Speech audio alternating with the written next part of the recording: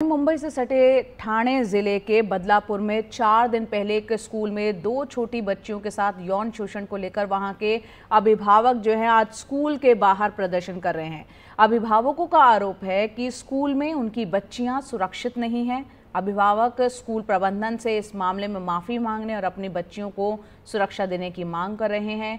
इस मामले में आरोपी को पुलिस ने गिरफ़्तार कर लिया है।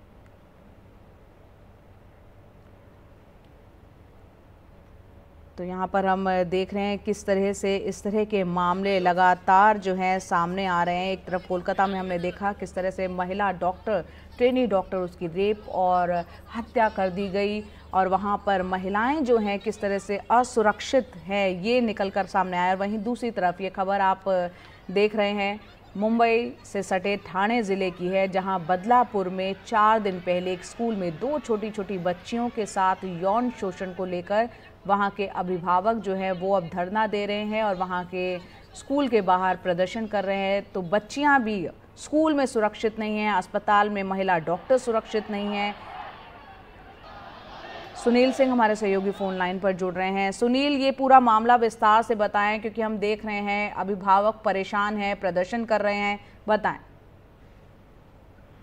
जया, मुंबई से सटा जो ठाणे जिला है, वहाँ पे बदलापुर इलाका है, जहाँ पर कि एक स्कूल में 16 अगस्त को दो छोटी बच्चियाँ, जो कि लगभग साढ़े तीस साल की हैं, उनका लैंगिक शोषण हुआ था और आरोप जो है, स्कूल के, जो ट्यून होता है, उसके ऊपर लगा था।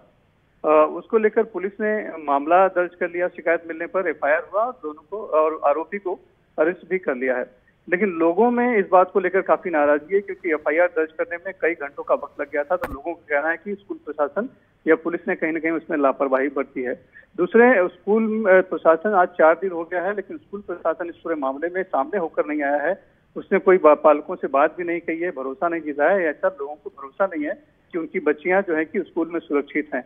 इसीलिए जो है, आज बदलापुर बंद की घोषणा की गई थी और सुबह से ही लगभग छह बजे से ही बड़ी संख्या में अभिभावक, जिसमें महिलाएँ ज़्यादा हैं, वो स्कूल के पास आकर एकत्रित हो गई हैं और लगातार विरोध प्रदर्शन वहाँ पर किया जा रहा है। मांग की जा रही है कि स्कूल प्रशासन सामने आए और अपनी बात रखे और हमसे माफ़ी मांगे और बच्चियों की सुरक्षा का भरोसा दिलाए। तो खास बात यह है कि जो बदलापुर पुलिस है, उसके डीसीपी ने लोगों को चेतावनी दी थी कि हम सही तौर पर काम कर रहे हैं तुरंत हमने मामला दर्ज कर लिया आरोपी पकड़ लिया गया है। इस तरह से अगर बदलापुर बंद की बात की जाएगी या आंदोलन किया जाएगा तो तो उसकी हमारे जो पुलिस बल है उस सुरक्षा व्यवस्था में लगेंगे।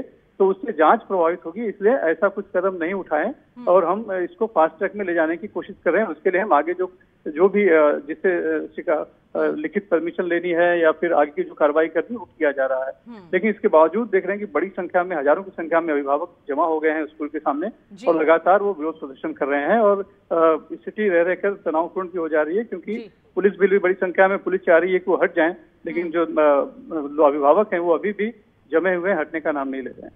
जी, सुनील बहुत बहुत शुक्रिया विस्तार से तमाम जानकारी हमारे दर्शकों को देने के लिए।